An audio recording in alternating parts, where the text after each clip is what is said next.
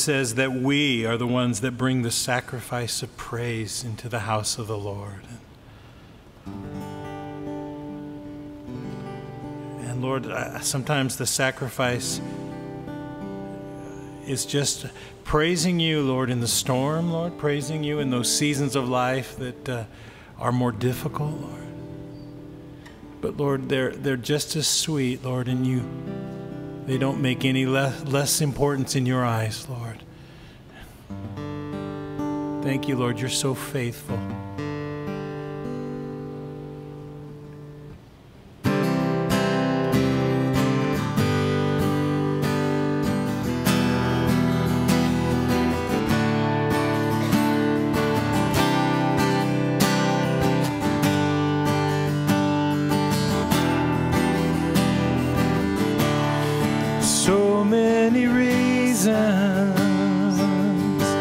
too many to count, to say that I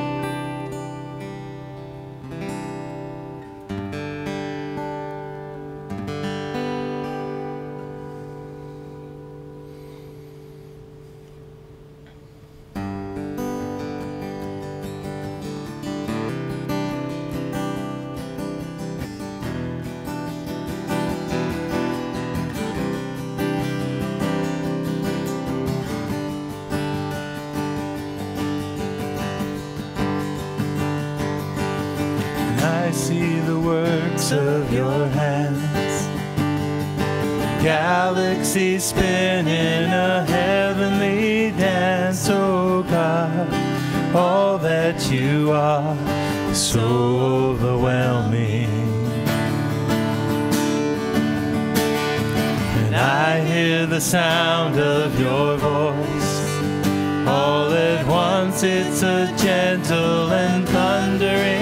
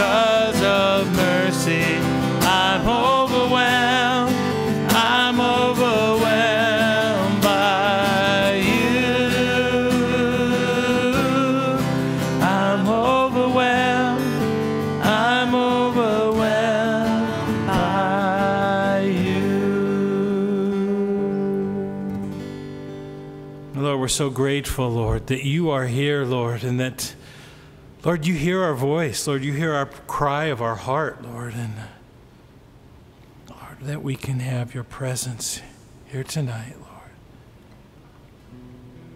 Receive our worship, Lord. Receive our praise, Lord, and prepare our hearts for the teaching of your word, Lord God, that we might receive all that you have for us, Lord. Thank you, Lord, in Jesus' name. Amen. Let's stand. We'll sing a, a, a verse or two of uh, To God Be the Glory. To God be the glory, great things He hath done. So loved He the world that He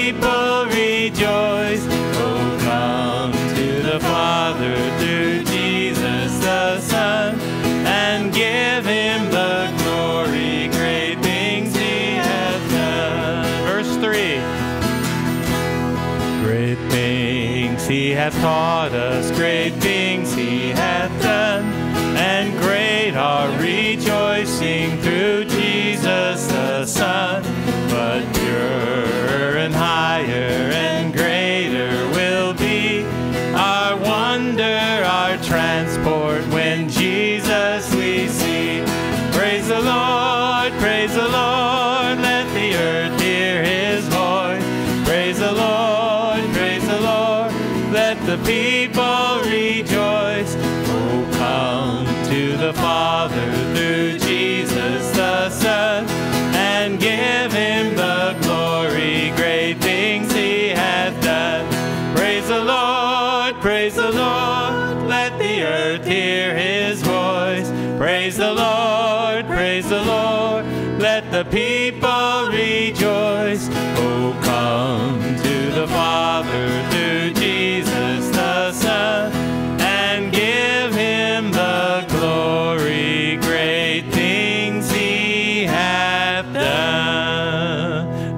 Everybody said, Amen. Let's say hello to one another.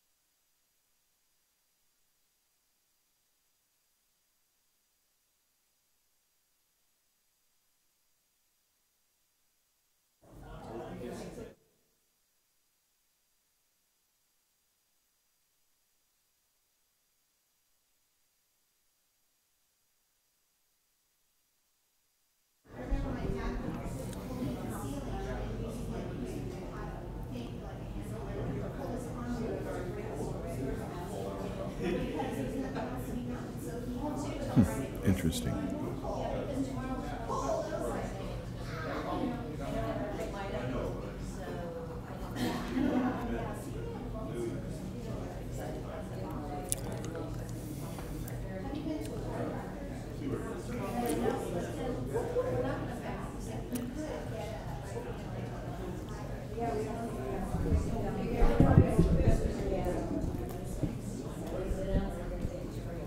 Uh, you're already in trouble, so you can uh, you can you can choose to sit down so you get out of trouble, but you're in trouble already. For all right, let's uh, let's pray. Father, we thank you and we praise you for this day, and we thank you, Lord, for your many blessings. And uh, Lord, we want to just lift this time of study in your word and ask you would anoint it by your Holy Spirit. Speak to us, Lord. Teach us the things that we need to, to know today. And Lord, for those who um, are having issues right now, whether it be health or uh, whatever it may be, we just pray and lift them before your throne of grace. Um, Lord, there are several people that I can think of right now that need that. And so we pray, touch them and, and heal and give peace and strength and comfort. Lord, we love you and we praise you. And we ask all this in Jesus' name. Everyone said, Amen. All right. We're going to be in the book of Galatians. That's where we're going.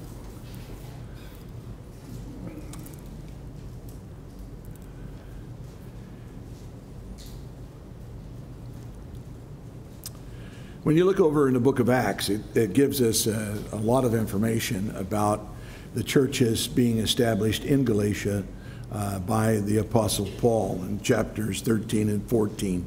We see that.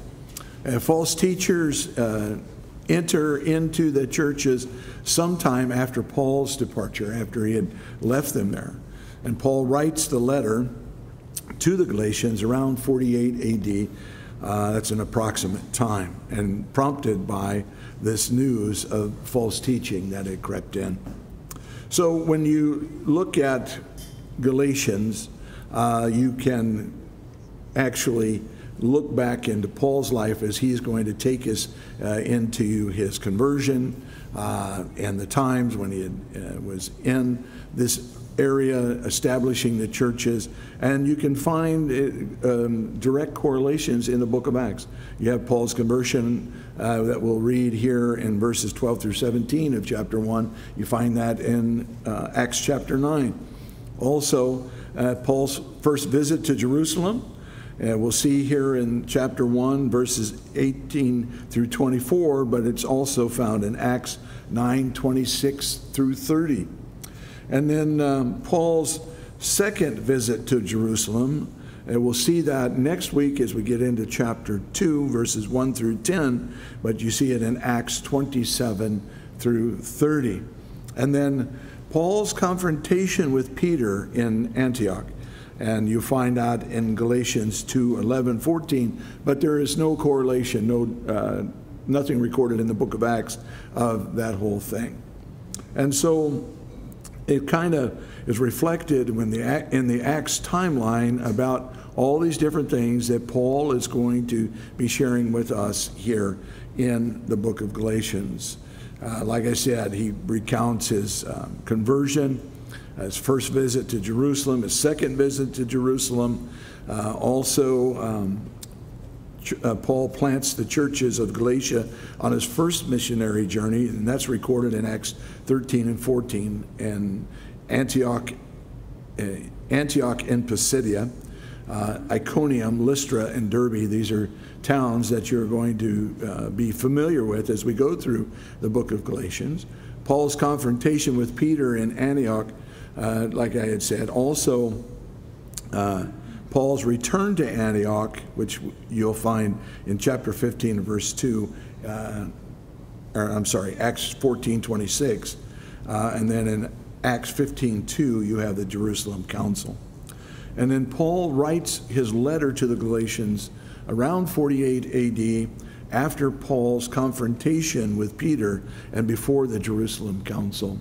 So it just kind of gives you a, a timeline to look at. Uh, the Jerusalem Council which is recorded in Acts 15 1 through 35, occurring after Paul wrote Galatians. And this council officially resolved the questions at issue in Galatia. So I'll get there in a second so that uh, you'll, when we look at the theme, the purpose of the letter. But first, I want to show you a map. I want to show you a map. okay, so I don't want to show you a map. Daniel wants to show you a map. and this is, you see right up there in the very top towards the left, it says Galatia. Uh, that is a region, okay, and that's why we'll see as we open up the letter, it says to the churches in Galatia. So there were several that were, that were there in Iconium, Lystra, uh, Derbe, all around in that area. Paul had gone there and he had established churches. Also in Antioch Pisidia, which is to the north. Now there's two different Antiochs that are here. You'll see one down uh, over to the right and down a little ways. It's Antioch, Syria. That's where the letter's written from, not Antioch Pisidia. So uh, there's, I think, one other Antioch in the Roman Empire as well. And of course, it was named after uh, the Caesar. Uh, and so they would establish, you know, just like you have uh, Caesarea Philippi, that's uh, Philippi of Caesar, is what that is. And so they would name towns after uh, those who were the, the rulers and such. That area that you see there in Galatia, uh, and in Cappadocia, Lycia, uh, Derbe, all these areas that you see here, all the way over to Antioch, Syria, uh, that, that is where the modern day Turkey is. Uh, I've, been, I've been really dying to teach a book that deals with the, the area of Turkey. Having gone there now, man, I tell you, this, it's so rich for me to see this. Uh, just a little side note, real quick, is as we're looking at this, and uh, you see where At- uh, Attalia is, and Pergia, uh, and Myra. Well, down and to the right would be where Ephesus is. Uh, so these communities that uh, are in Galatia are on one side of the mountain range, and Ephesus and Pergia and all these and, and actually, if you go north of Pergia, then you get into uh, Smyrna and, and the, where the seven churches are, and that kind of. There's a huge mountain range that is there. So when you think about this, and you think in, of Paul, you know, traveling around, don't think it's like he walked down through the Sacramento Valley. Think like this: he walked over the Sierras. The mountain range has over 12,500 foot peaks in the mountains. They're huge and they have the same kind of, of weather that we have here in our um, Sierras as well. They're snow capped. I mean, it, it, to me, it was very fascinating when I, I, was totally shocked by the topography of Turkey. I didn't expect that. And in the area where Galatia is, where Iconium and Lystra is, that is an extremely fertile valley. A lot of the produce and vegetables and stuff uh, that are uh, that Turkey has are grown in that area. So it's really a very beautiful place. Uh, I expected it to be one big desert, but it was not that at all. And so I was pleasantly surprised. So that kind of gives you an idea of the area that we're talking about when we're saying, you know, that Paul wrote to the churches in Galatia. They would have been the churches of Lystra, Iconium, and Derbe, and the areas over in uh, the churches in that area. The letter, uh, uh, Galatia had two meetings uh, when the epistle was written. First, it referred to an area in Asia Minor where the Gauls had settled after migrating from Western Europe through Italy and Greece. The Gauls were the Celts. So, like I said Sunday, these are my people, you know. Uh, and, uh, anyways, that's where they had settled. The territory was limited to the north central and east central areas of Asia Minor. That whole area that you're looking at up there, that is Asia Minor. Uh, and so there was a lot of activity, of course, that was taking place there. Um, and its principal cities were Ankara, uh, Pessinus, and Tavium.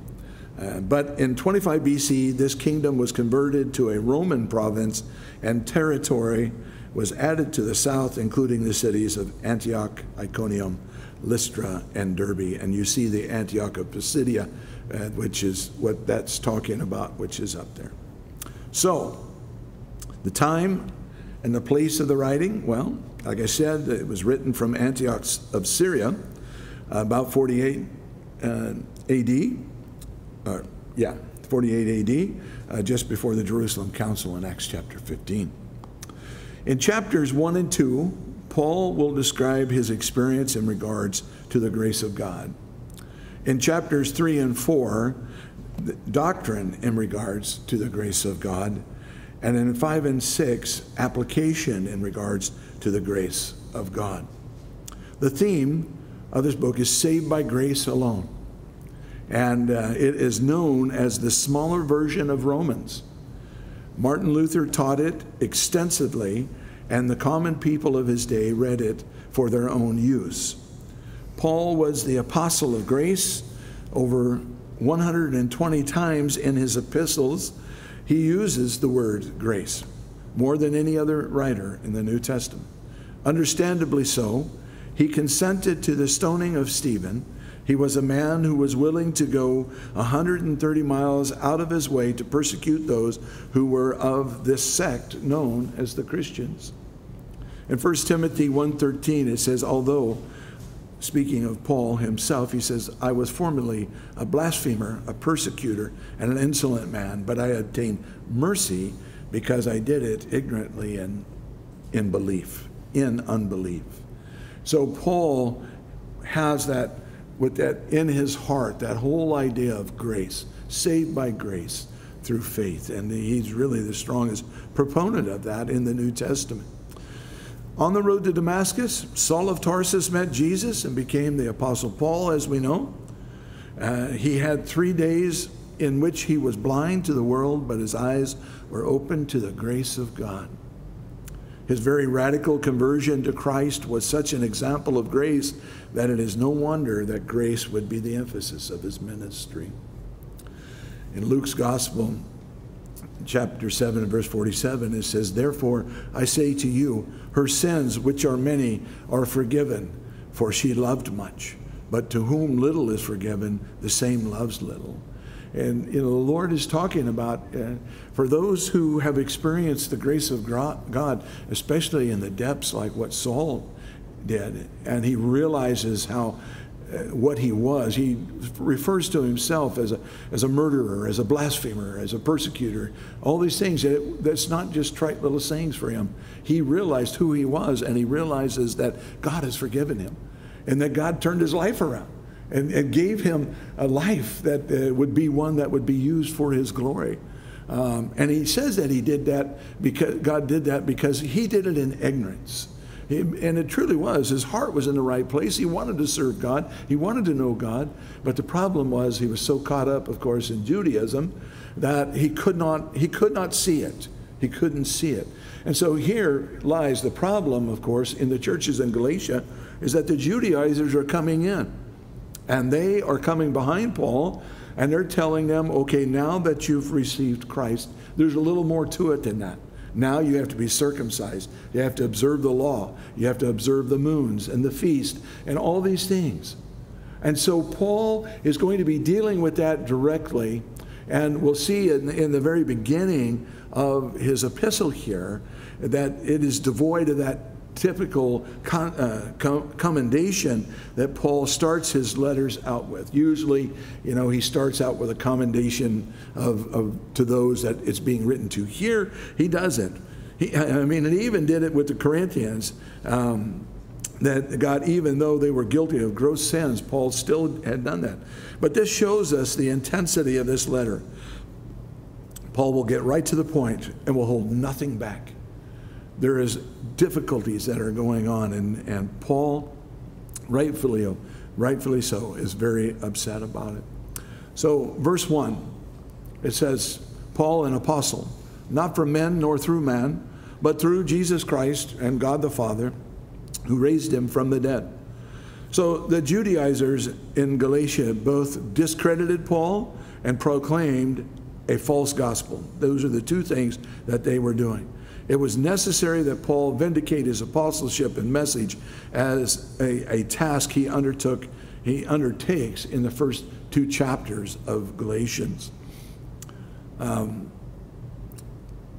on this opening where it says Paul an apostle, he says the word apostle, as Paul uses it here, does not merely refer to one who has a message to announce, but to an appointed representative with an official status who is provided with the credentials of his office.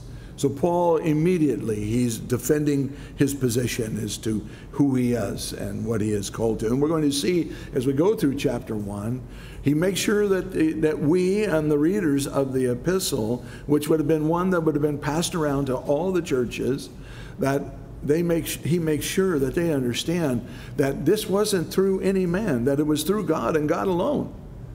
Because there were those that were saying they were denying his apostleship saying that because of the fact that he had not conferred with the elders in Jerusalem, that he really wasn't a legitimate apostle. And so he starts out right away and he, declare, he declares to them who he is. Uh, and in the Greek word that he uses there, it has that emphasis that is one uh, with an official status who is provided with credentials to, of his office. In Acts 26, 16 through 18, and this is uh, Paul recounting his uh, conversion.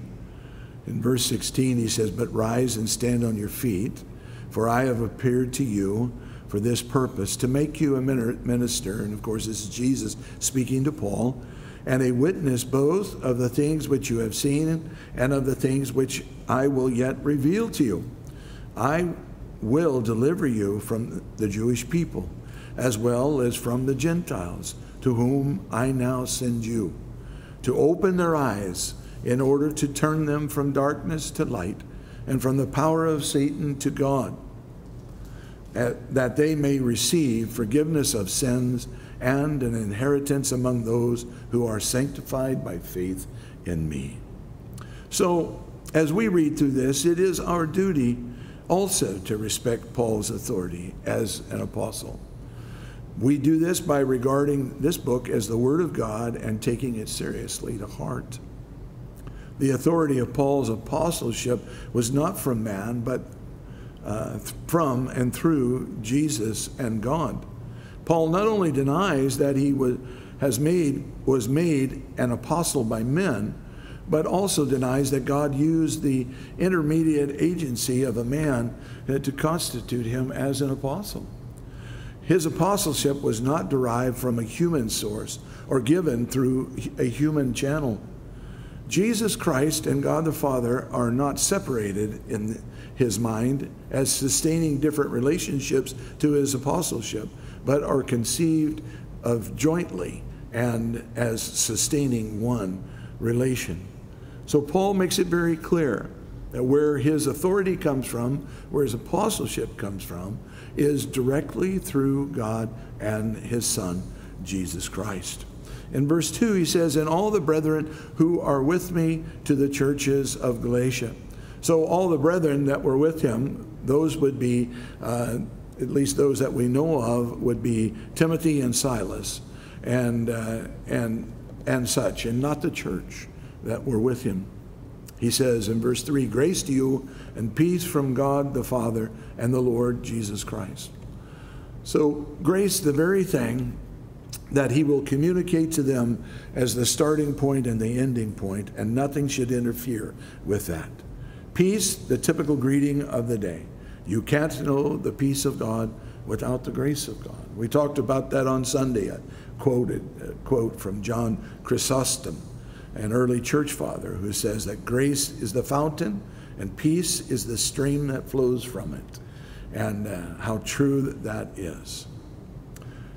God's grace holds us to a much higher standard than that the law does. Grace holds us by strands of love empowered by the Holy Spirit, as we'll see when we get over into chapter 6. And it's true. You know, uh, when you think about, and, and, we'll talk about this a whole lot more when we get into chapter 5 and chapter 6 about the purpose of the law uh, as our tutor to teach us that when we are doing something wrong. But grace teaches us that we need to obey God not because of duty, but because of love and that we have done things wrong, but yet God wants us to simply obey Him because He loves us, He's forgiven us, and that it holds us to a deeper standard, a much deeper standard of obedience to God. When you think about that, because if, if we go by the law, we can just have our little check off, you know. Here, I did this one, I did that one, I did that one. You remember the rich young ruler in the gospel? the one that came to Jesus and he said, What must I do to inherit the kingdom? And Jesus laid out all the law, well, most of the law for him. And he says, All that I have done, I've kept that from my youth. And he says, Okay, go and sell all that you have and give to the poor. And it says that it grieved him in his heart and he turned and he walked away sad. Why? Jesus pointed out, You have this, this law that you have broken, which is covetousness. Covetousness and you've broken that law. We'll see later on in this book, Paul will tell the Galatians, that, and he'll tell us, that if you've broken one part of the law, you've broken the whole law. So it doesn't matter, you can keep it all. It's better to be under grace and understand that when you, when you do break the law, that forgiveness is available to us through the blood of Jesus Christ. But it requires an obedience. He, he who has, you know, been forgiven much must love much. And the more we recognize our own sin, the greater I think our love becomes. When we see that, how much God has forgiven me and what I deserved instead of what God has given me, it certainly brings me to that place where I just want to serve God even more with my verse 4, he says, Who gave himself for our sins that he might deliver us uh, from this present evil age according to the will of our God and Father to whom be glory forever and ever. Amen. So, the source of the grace of God in our lives is that finished work of Christ. This was uh, purposely added because the Galatians were falling back on words or works, I'm sorry, as the ground of such acceptance. The voluntary aspect of the death of our Lord is brought out here so that we understand that it's all about a voluntary act of obedience on our part that God wants from us as well. But also that He did that so that we can, so that we can be forgiven, so that we can walk in His Spirit. and that He might deliver us from this present evil age. Deliver is a word which means to pluck out, to draw out, to rescue, uh, to deliver. The word strikes the keynote of the letter. The, the gospel is a rescue and emancipation from the state of bondage. The word here denotes not a removal from, but a rescue from the power of the ethical characteristics of this present age. Boy, talk about something that we need today, right? We need deliverance from the age in which we live in today, the bondage of sin. The word, um, the present evil age, as it says here, the King James uses the word the world. Uh, Trench defines that as follows. He says, All that that floating mass of thoughts, opinions, maxims, speculations, hopes, impulses, aims, aspirations at any time current in the world, which it may be impossible to seize and to accurately define, but which constitute a most real and effective power, being the moral or immoral atmosphere which at every moment of our lives we inhale, again, inevitably to exhale. That was a long definition. Uh, Trench was a Greek scholar, so uh, he, he writes like one. That's all I can say. The will of God is that we would be rescued from this evil age. The times that we live are really no different than the times of this epistle. Sin was dominating the culture and the lives of the people, so it is in ours as well. Paul is declaring that they were given this power through Jesus, and he is declaring that for us today as well. that we all can be delivered from the sin that captivates our heart and our life. Verse 6, he says, I marvel that you are turning away so soon from him who called you in the grace of Christ to a different gospel. Paul was amazed that they were turning away. The word marvel indicates that Paul expected more from them.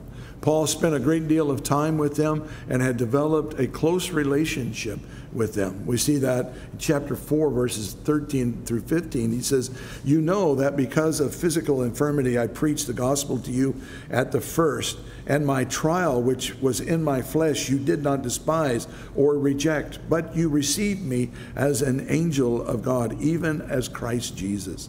What then was the blessing you enjoyed? For I bear you witness that, if possible, you would have plucked out your own eyes and given them to me. It speaks of the depth of the relationship that Paul had with them as he had shared the Word of God, the gospel with them, and that they had uh, given their hearts and lives to Christ. And obviously, Paul would have been preaching to them that idea of grace, the idea that we are not saved by works, but we are saved by grace through faith. And that he's, he's perplexed. How is it that you could turn so quickly back to that? And I, I've, I've got to tell you, it is, uh, it's always amazing how quickly people uh, can do that. They can get saved and be going right along the right track, get hooked up with the wrong group, and all of a sudden they're doing a lot of things that they should not be doing and lot, trusting in a lot of things they should not. The word for turning away in other Greek literature was used for turncoat. The present tense indicates that when Paul wrote the defection of the Galatians, uh, of the Galatians was yet only in progress. It hadn't come to its fruition yet. Had he used the perfect tense, that would have indicated that the Galatians had actually and finally turned against grace and had come to a settled attitude in the matter. So soon, he says. The word literally uh, means readily, rashly, quickly. And he speaks here of the uh, the quickness with which the Galatians were turning away from Paul and his teachings of grace uh, to the Judaizers with their teachings of work, uh, works. And uh, he says, You're turning away from him who called you. God was the one who had called them, and by turning from grace to works, they were actually turning their backs on God. Um, and what was even more troubling is that they were turning to a different gospel another gospel. Uh, the word for different is heteros. And it not only refers not only to difference in kind, but also speaks of the fact that the character of the thing is evil or bad.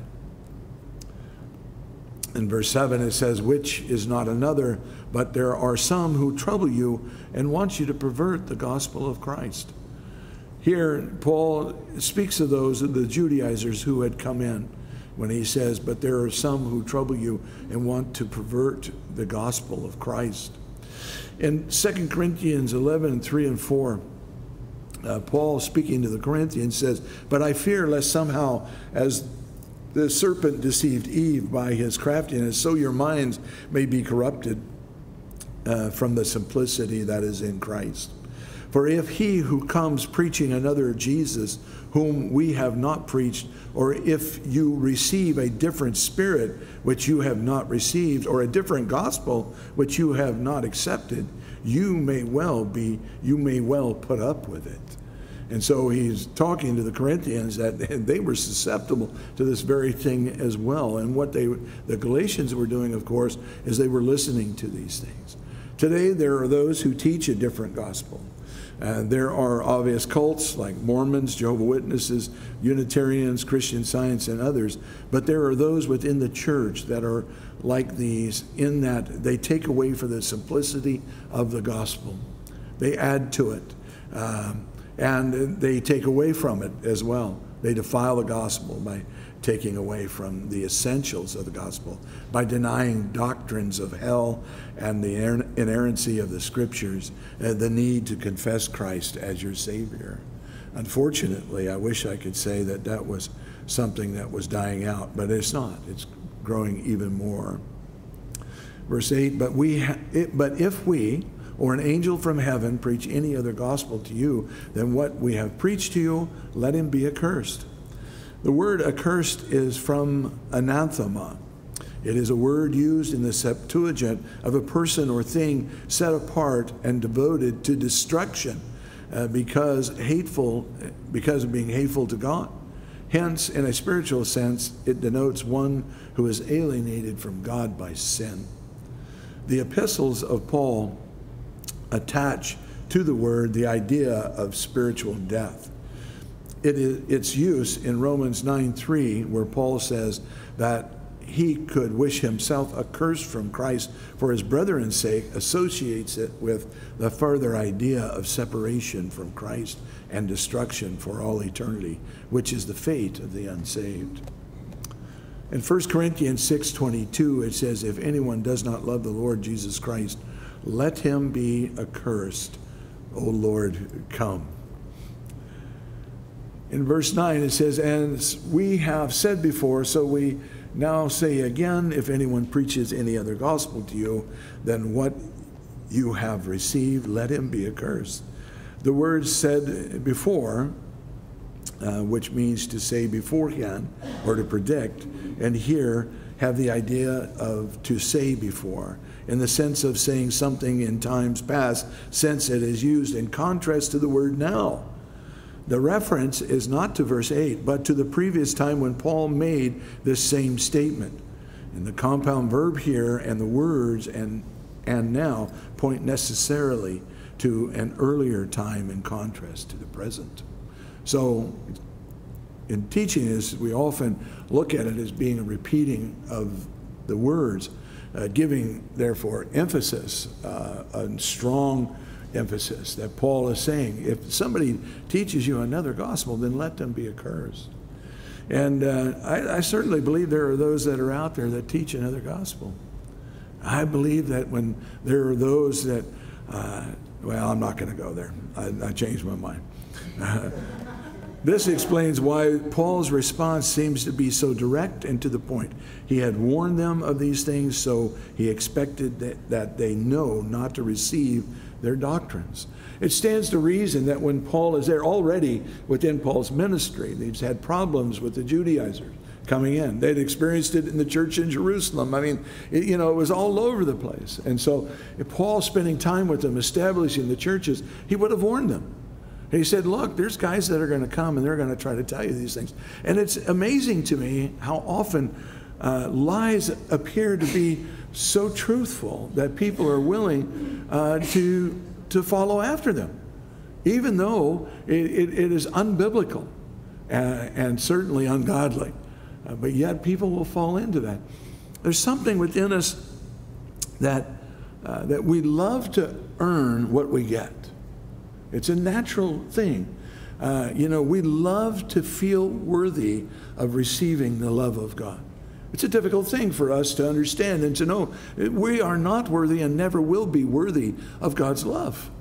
And that's what makes it so phenomenal. That's what makes it so crazy is that the grace of God, which is, you know, poured out to us undeservedly. It's not because we were a great catch. I know I was. I don't know about you guys, but I'm a great catch, right? No, I'm not. I'm the worst one that God has. I'm so grateful for the grace of God. In the ESV version of this verse, it says, For I, uh, for am I now seeing the approval of man? Or, I'm sorry, I didn't read that, did I? Let me read verse 10, then I'll give you the ESV version. For do I now persuade men or God? Or do I seek to please men? For if I still please men, would I not be, uh, I would not be a bondservant of Christ. Well, in the ESV it says, For I am, for am I now seeking the approval of men or of God? Or am I trying to please man? If I were still trying to please man, I would not be a servant of Christ. And it makes perfect sense Uh, every once in a while, you hear me give a kudo to the ESV. Not very often. I don't like it. Uh, but uh, every once in a while, they do get it right, and I'll use it. But nonetheless, that's, that's me, okay? I'm not saying it's heretical, but it's close. Uh, no, I'm, I'm, just, I'm just kidding. I'm just kidding. I, I don't really believe that. I just don't care for the translation. His enemies accused him of sacrificing the truth of God for the sake of conciliating men and winning their favor. It was Paul's boast that he became all things to all men, but his real purpose was to win all to Christ. You see that in 2 Corinthians chapter 9. They insinuated that he was more bent on obtaining the favor of men than securing the approval of God. He had made two concessions to Jewish uh, feelings. He had circumcised Timothy and had recommended for adoption certain regulations uh, tending to promote harmony between Jewish and Gentile converts. It was easy to misrepresent these concessions as an abandonment of his doctrine of salvation through grace alone. You know, that wasn't it at all. Uh, Paul told the Jews just as well as the Gentiles. There's only one way to be saved, that's grace through faith. Now, you know, it is true, the first century church, they did not abandon uh, the, their Jewish uh, worship. They still went to temple up until 70 AD. Uh, they still went to synagogue. You know, they still practice uh, Shabbat, and Passover. You know, all the different holidays and different things, and that's perfectly okay. Uh, there's nothing wrong with that for Jews. Now, we, we do a Seder, we celebrate the Passover, but we make it very clear we're not doing this in a religious observance of the law. We're doing it because, and we actually turn, turn, not turn it into, we point out that Jesus was the sacrificial lamb. So our Seder is a Christian Seder. We talk about the, the, the things that were foretold in the Passover of the Old Testament that were fulfilled in the Passover of the New Testament. And that's where we go with it. But we don't, we don't observe Sabbath, we don't do any of those things because we have been set free from that. Now, if a Jewish convert feels that they still have an obligation to those things, uh, as long as it's not to the law, but to the feast and so on, there's not a problem with that. If they're looking to the law to fulfill them and to give them their salvation, well, then they're misguided. And that's what was happening with these guys. And they had come in behind Paul and they were convincing the people in the churches, both the practicing Jew or the Jews and also the Gentiles that were there. So you can see why it would catch on rather quickly. If you had you have Jew and Gentile mixed within the church, you have a Jew that's come out of the law who's now being told he doesn't have to depend upon the law anymore.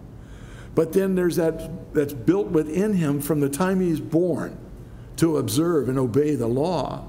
And so now, when the Judaizers come in and say, Yeah, you're a Christian, but now you need to observe the law too, they go, Well, that makes perfect sense to me, right?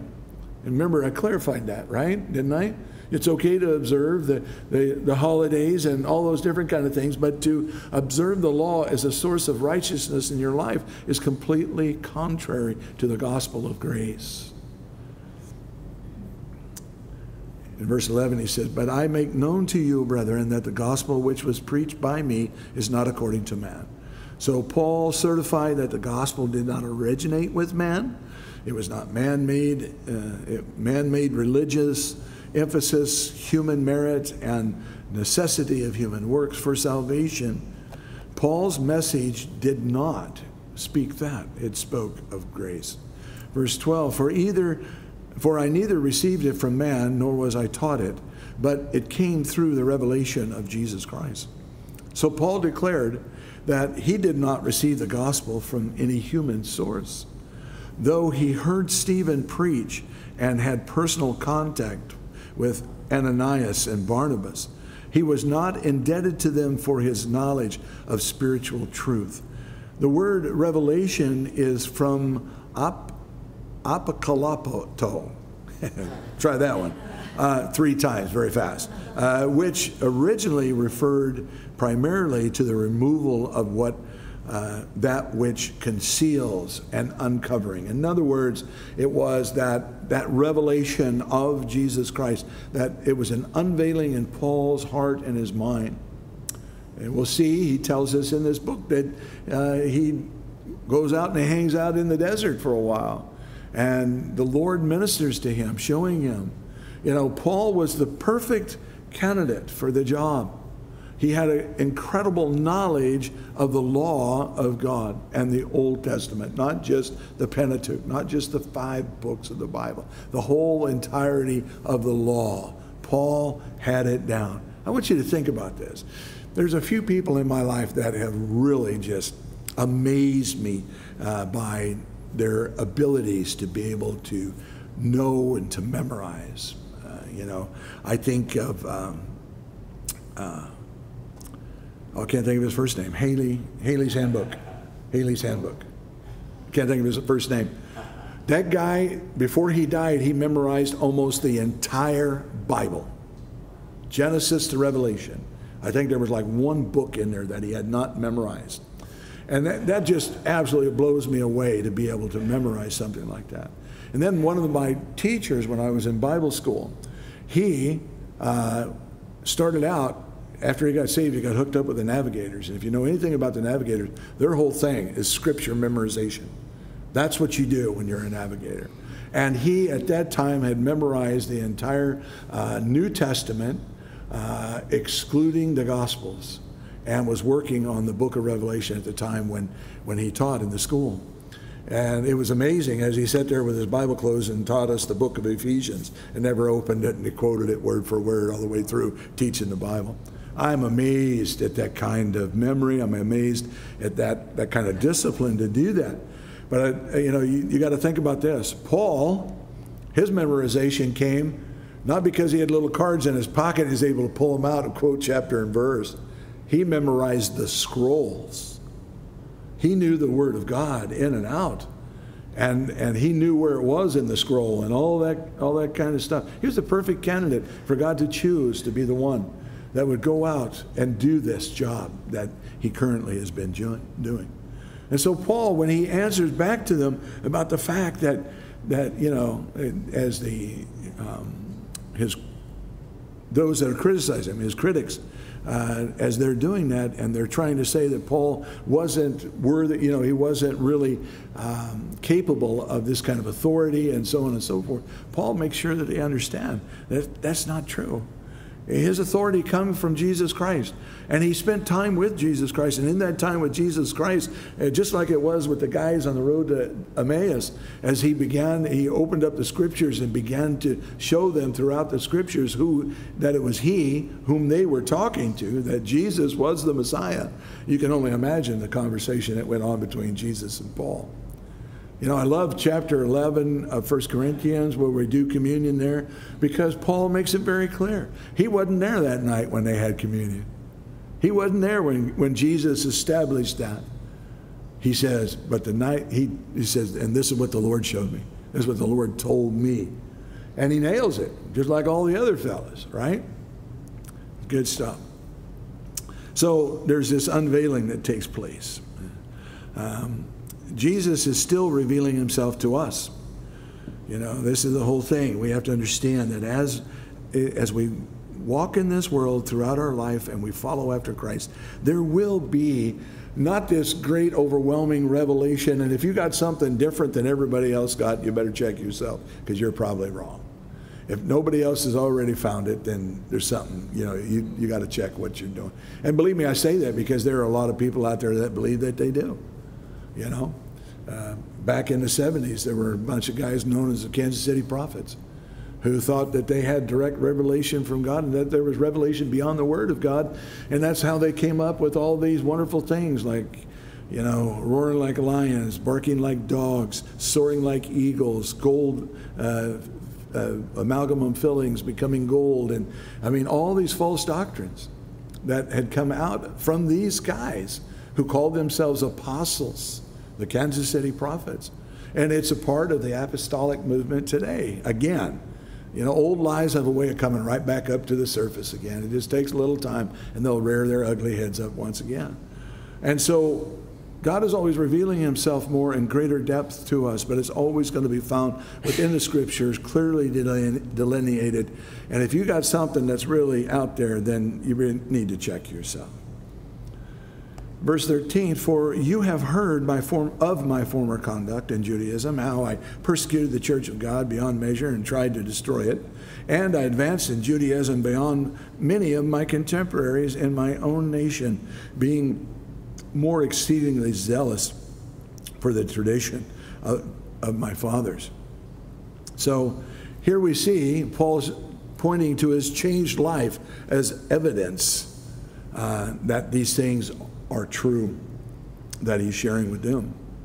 Verse 15, but when it pleased God to separate me from my mother's womb and called me through his grace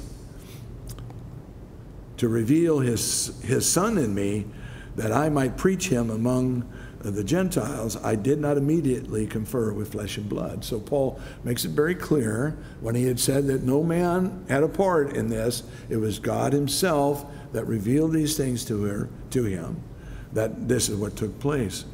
And you know, when you look at this as Paul begins to tell us about his past, I think it's wonderful for us to look back and see God's hand in our lives even before we confessed him as Lord. And I can easily do that.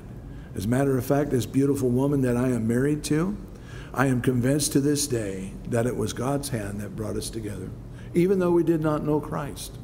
God knew that our hearts one day would know Christ and that we would know Christ together.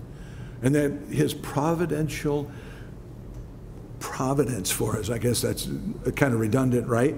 Uh, but nonetheless, uh, that we can see the hand of God. And, and we didn't know it.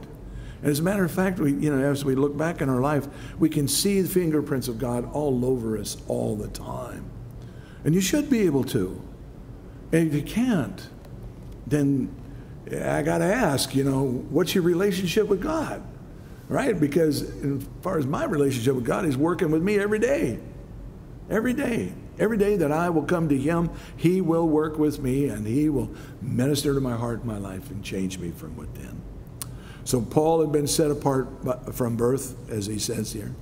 He knew that God had providentially set him apart from birth, and that all his life to this point was a preparation for his ministry as a proclaimer of the gospel of God's grace.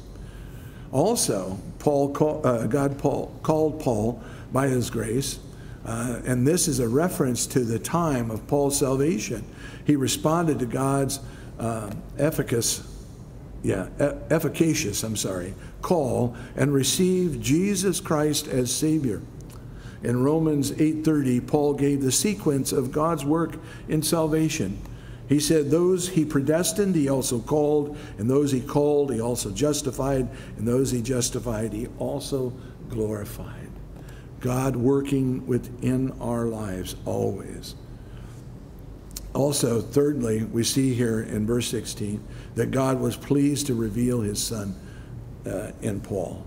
Blinded as he had been to the deity of Christ, and thinking that uh, the Nazarene was a fraud, God gave Paul an outward vision of Christ on the Damascus Road, and later an inward, an inner revelation concerning the full significance of the person and work of the Savior. The purpose of this revelation was that Paul might preach among the Gentiles. And then he tells us, Nor did I go up to Jerusalem. So when he got saved, he didn't just go running up to Jerusalem where all the other boys were. He said eh, to those who were apostles before me, But I went to Arabia and returned again to Damascus. So Paul had emphasized that he did not receive the message from men uh, before or at the time of his conversion. Now he affirmed that he was free from, human influences after as well. Though Paul met other Christians after his conversion, he did not consult them on doctrine. If he had been uncertain about the gospel, he could readily have gone to Jerusalem for a seminar uh, with the apostles. Uh, but he did not. Rather, he went immediately into Arabia. It is doubtful that he went there to evangelize, but rather to be away from men and alone with the Lord for personal study, meditation, and to receive further revelation from Christ. This zealous student of the law now pondered the meaning of his conversion and looked for the things concerning Christ in the Old Testament. The product of these days in Arabia was the Christian theology that Paul explained in his epistle to the Romans. The point of Paul's declaration is clear. He formed his theology not by consulting with others, but independently as he sought God's guidance. And then, after three years, I went up to Jerusalem to see Peter and remained with him 15 days. So, Paul then reinforces his previous argument by asserting that he waited three years after his conversion to go to Jerusalem, time that was spent in Arabia and Damascus. Um, would he have waited for a long time if he had needed theological instruction? I don't think so. And when he, he did go, it was to get acquainted with Peter, and that is, that is it, a personal visiting visit lasting only 15 days. Paul then left because of a plot against his life. We find that in Acts chapter 9, verse 29. Verse 19, but I saw none of the other apostles except James and the Lord's brother. And now concerning the things which I write to you, indeed, before God, I do not lie.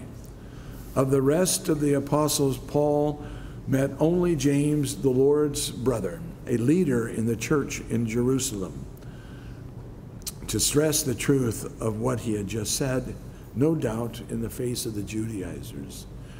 Um, and so he's defending his apostleship at this time.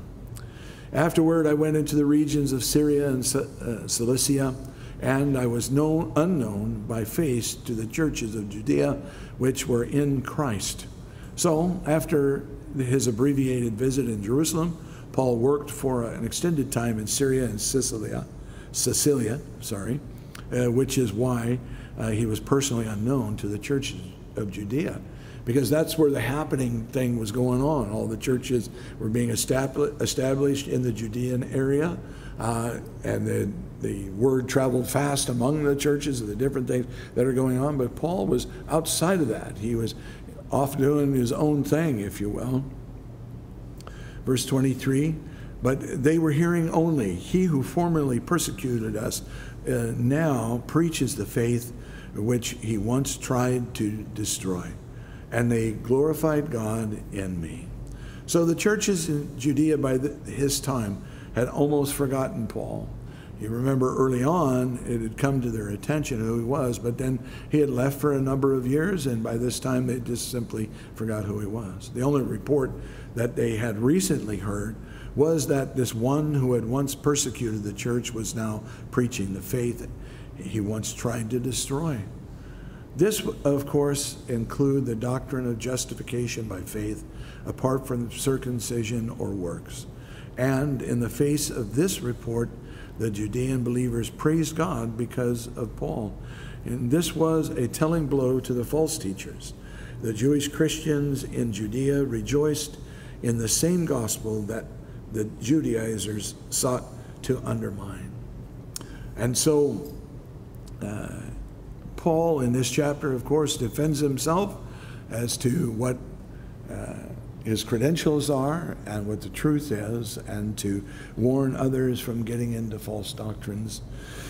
And uh, I truly believe that that is uh, a good message for us today. Be careful. Don't get into false doctrines. Don't believe everything you hear, even though they might be a good, that they might be very charismatic and very believable. Check what they say. Be a Berean. Know what you believe and why you believe it. And look into the Word of God and trust it alone and faith in God and not works, not works.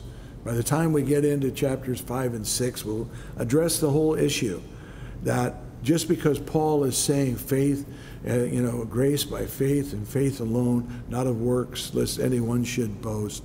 It doesn't mean that the law does not have a place in the believer's life. And we'll talk about that because it certainly does, even to this day. Let's pray. Father, we thank you for your love, your grace, and your mercy. Go with us now, and I pray, God, uh, get us all home safely. Pray, Lord, the, st- the storm's not too great, uh, and that uh, we get a good night's rest and get up and get to start our day with you all over again. Father, we love you. We praise you. We lift these things to you in Jesus' name. Amen.